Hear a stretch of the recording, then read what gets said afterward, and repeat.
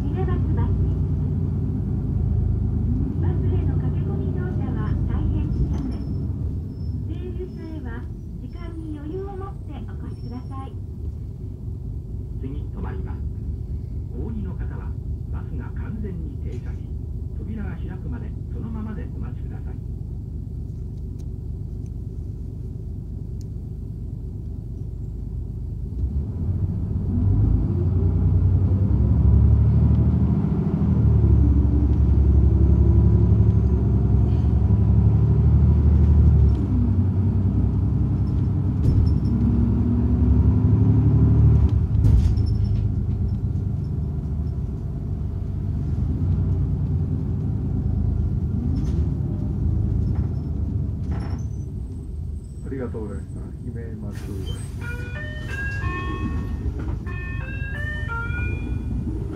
はい、はい、ありがとうございます。ピッチの会場もありがとうございました。感謝します。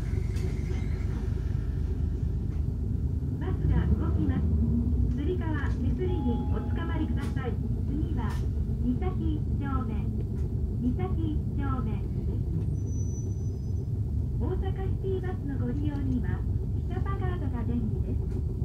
1回目のご利用から大人なら10%引き学生なら20%引きでご乗車いただけますぜひピカパカードをご利用ください降りたバスのすぐ前や後ろを横断